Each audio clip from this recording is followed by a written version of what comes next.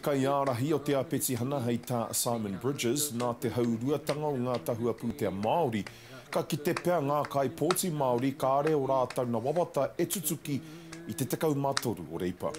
Kei Harukuwai, Tipene Allan tēnei pūrongo. Kua waiho mai rainei ngā kongakonga a te tēpu nui ki te Māori? Um, I think in terms of specific Māori issues, uh, around whānau ora, around vote Māori, around treaty settlements, it's been a, an epic fail. Hei tā tēnei uri o Ngāti Maniapoto e aro kore ana te Kāwana ki ngā take Māori. We may not have got the votes from Māori in terms of those Māori seats but we did put the attention in and try and always do the right things. Ehara i te mea e kawa ana te Pāti Nāhinara ki ngā wāhanga katoa, hoi ko te taha ki te utu tetahi raru nui. I acknowledge that there's support here in this budget for the vulnerable and that's a good thing. I think for the the middle um and that includes Māori, Pākehā, you know, all all different kinds of New Zealand, there's not much in here apart from more cost. Hei tā Kelvin Davis he maramara noiho te takanga mai ki te Māori i te tahua pūtea ko HIPAA, nā wai rā kua hauruatia.